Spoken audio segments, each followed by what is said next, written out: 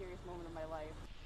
As the investigation into Omarion Humphrey's death continues, concerns are being raised now by parents on social media about the safety of Davison Township's Lake Callis. Good evening, everyone. I'm Bill Harris. And I'm Sadie Hughes. Thank you for joining us tonight. Davison Township's police chief says his officers are still investigating the nine-year-old's death tonight.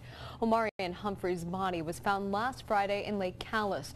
Investigators hope to have more answers by today, but Township Police Chief Rick Freeman says they're still working to determine exactly how Omarion died. The autopsy is pending, but police say preliminary results show no signs of foul play. Meanwhile, some parents have been expressing concerns about the lake's safety since the Lake Callis recreation area opened last month. That's where Stephanie Parkinson joins us now live.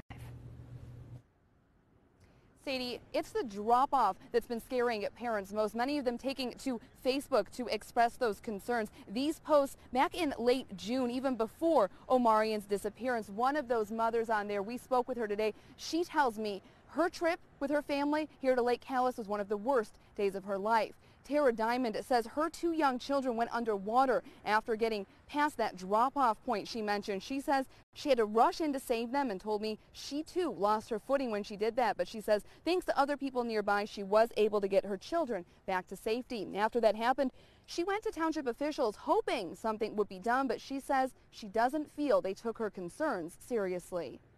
We were completely brushed off. There's, yeah, I can't even describe how, I just, I hope that none of those people have to go through what we went through that day because it was the most terrifying moment of my life and I feel like they weren't concerned about it whatsoever.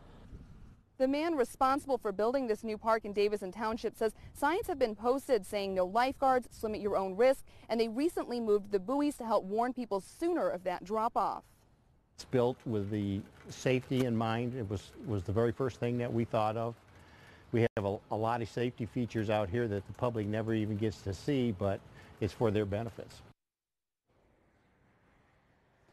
Tara says she doesn't feel the signs are enough because they don't warn specifically of that drop-off, just telling people to be careful at that beach area. But again, Stewart tells us they did move those buoys to try and warn people of that drop-off and keep them away from it. He tells us safety is a priority here for Davison Township. For now, live in Davison Township, Stephanie Parkinson, NBC 25.